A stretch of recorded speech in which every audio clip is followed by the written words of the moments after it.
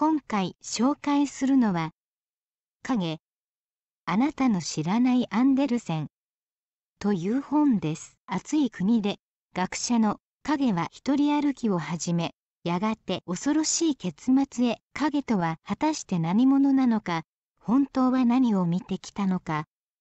アンデルセンの作品中最も解釈の分かれる異色作をデンマーク語からの新訳で送る一人住まいをしていると夜などふと自分の影などに怯えてみたりするのもである。これはそういった怖いおとぎ話である。暑い国にやってきたある学者の影がある晩学者から離れ隣の娘の部屋へ行ったきり帰ってきません。学者は他の国へ行き数年後金持ちの人間の服装で学者と再会して言うには私と一緒に旅をしほしいとで主従転校で出発するのだが終わりには影が学者を殺すことになる。何か現代の世相をも暗示させる恐ろしいおとぎ話である。以上。興味のある方は実際の商品を Amazon などでご確認ください。今回は